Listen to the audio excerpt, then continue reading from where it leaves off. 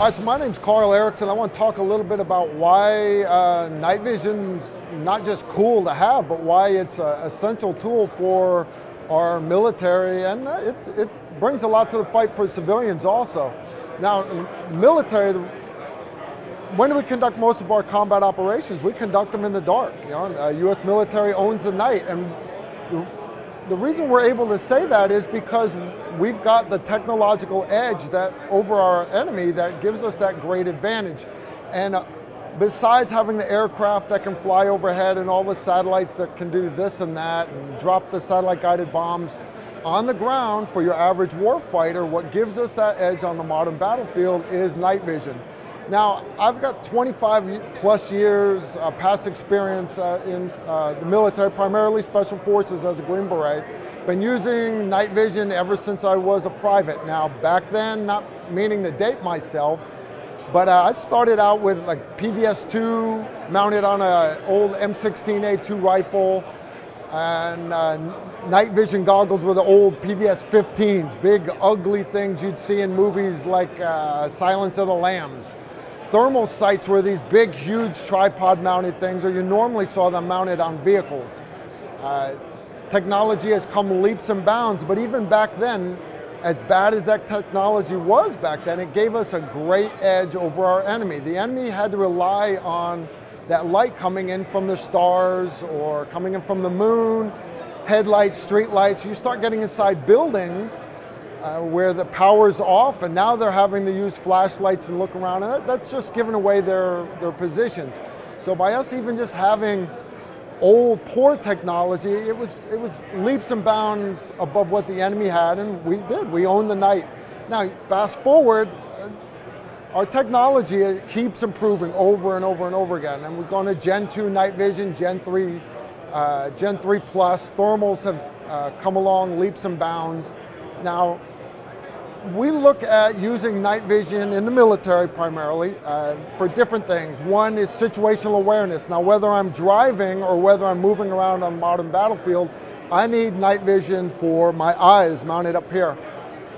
We would run them on head harnesses in the jungles or in the forests, uh, old PVS 7s, uh, we're up to the PVS 14s, different generations of them.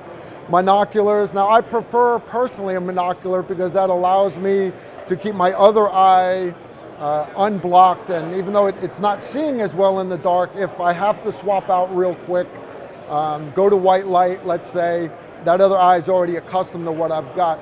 Um, there are night vision sets that have four monoculars spread out at different directions. Gives a, like a driver, let's say, a, a wider view, peripheral vision to an extent. They're great for driving.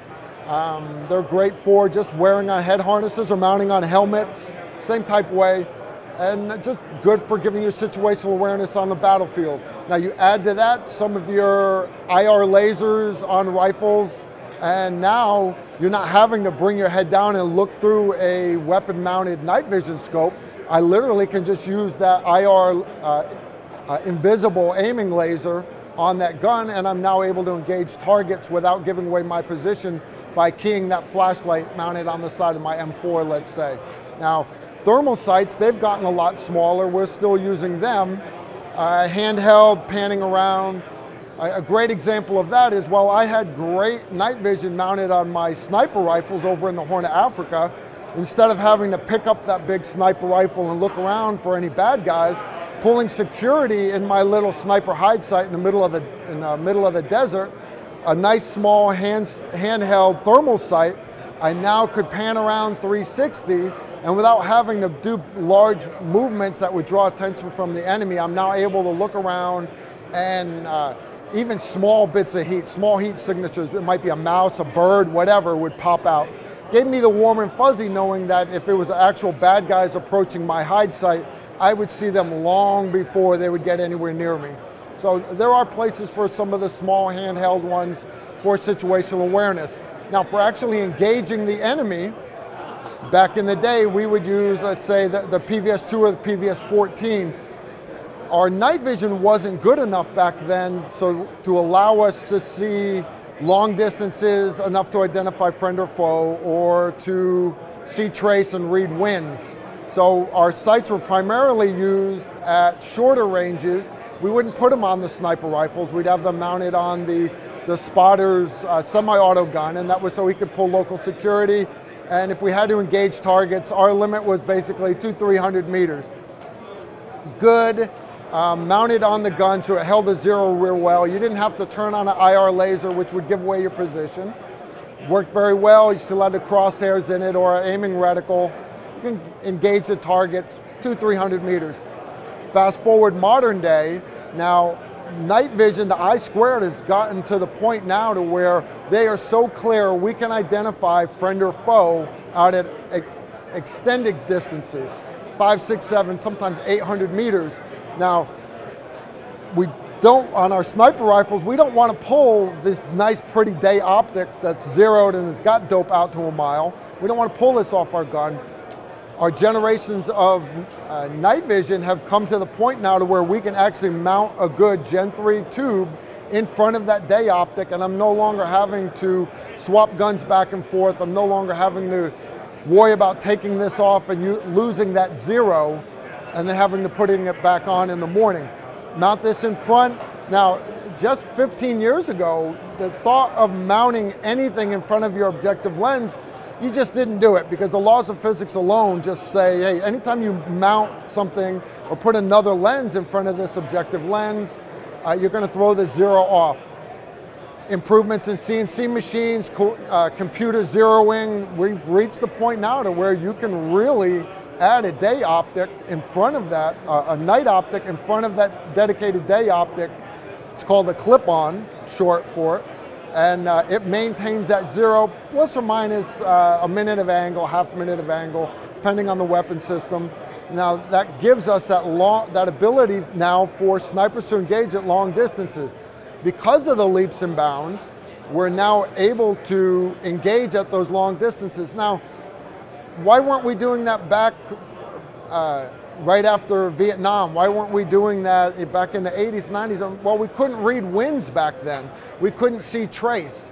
Now, um, I need to be able to see what the wind's doing in order to do my calculations. I can figure out barometric pressure, temperature, all that stuff in the dark. I can still do that, but being unable to judge the winds, it takes a major chunk out of the formula that I need in order for our snipers to engage at long range. However, these new generations of optics, they are spot on. I can see grass blowing. I can see those, Shia, uh, those flags blowing out in the middle of the cemeteries. And I can now use that to judge wind direction and wind speed. I can watch that trash blowing down the road in Iraq. I can gauge the uh, speed of the winds, I can calculate the direction, plug that into my formula, and I can now come up with a ballistic solution that will allow me to engage targets at extended ranges. Now, thermal sights also have come leaps and bounds. We used to uh, focus primarily on using your thermals for acquiring the target, pan around, find that blur, and then we'd go back to using the I square to identify is it friend or foe, you know, is it armed, is it unarmed, is it a threat, is it not a threat, is it a threat that warrants deadly force, right? So we would have to go back to that. However, our thermals have come to the point now to where they are so crystal clear I can see, hey, that guy's got an AK, he's got an RPG mounted up on his shoulder. So when now instead of having to carry multiple different weapon systems, there's a, a lot of applications now for mounting uh, the thermal sights on the actual combat guns, uh, whether it is the semi-auto guns for close in or even the bolt guns for extended ranges out on the out on that extended battlefield. So we've really come leaps and bounds uh, for the military using night vision. Now, I've, since I've retired, I've transferred, I'm a civilian now, proud civilian.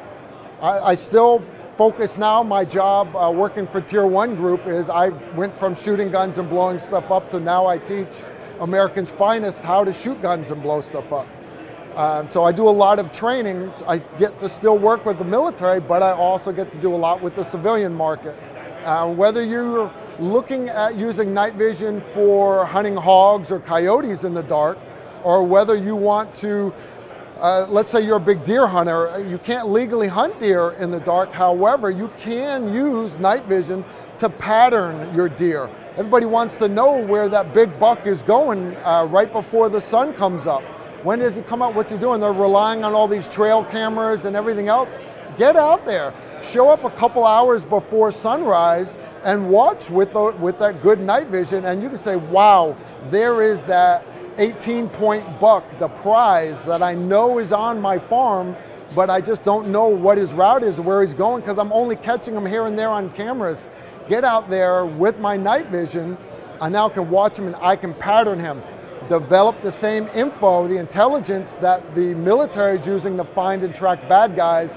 I can now do that on that prize trophy buck that I'm looking for. So there are applications for the night vision. Now, uh, just in the, the uh, civilian realm, what, Armasight in particular, any new little idea that hunters have, hey, I'd like to have this capability, I'd like to have that capability, I want to film it so I can show my grandkids just how great the hunt was coming up to mounting that big trophy up on the wall. And it's a night vision brings a lot of great tools to that. And Armasight, they have uh, great, great customer uh, satisfaction and great, great interface with the customers. You bring them that idea, hey, I would like this new capability they're going to get guys on it right away and uh, they're going to put it together. So whether you're wanting to mount that recorder to film that hunt or whether you want to use that that uh, laser rangefinder in the dark through your night vision, whether you want to use the applied ballistic softwares and get the all the way deep into the weeds and run your thermal with all the applied ballistics and do everything for extended range shooting. For a civilian, uh, it's not that whole end of the spectrum isn't just for the military. You can get out there now as a civilian and while, well, it may have been great, wow, I hit that mile steel target five years ago, and, and that's fun, that's great. Go back out and do it again in the dark. Uh, and I'm here to tell you, it'll put that smile back on your face, and you'll be like, you know, the money that I had to talk my spouse into letting me spend to get that good night vision, it's not just for the military. It's money well spent, and it's going to give you that edge. It really is.